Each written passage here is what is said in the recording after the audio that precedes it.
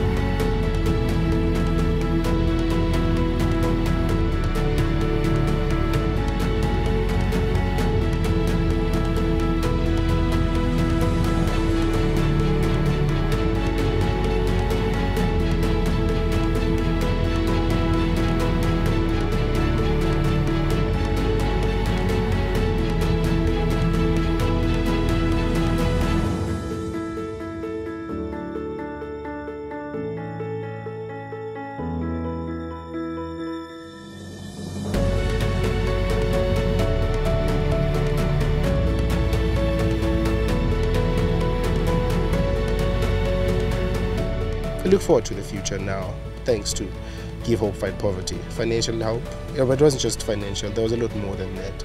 You know, learn to socialize and just, you know, meet people from halfway across the world who, even though you haven't met them, you already know they love you. Some of those things many people dream of, but we've had them. So I could never say thank you enough.